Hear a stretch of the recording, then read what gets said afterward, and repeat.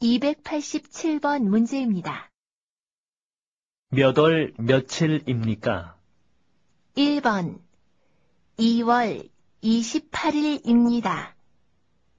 2번 5월 28일입니다. 3번 6월 28일입니다.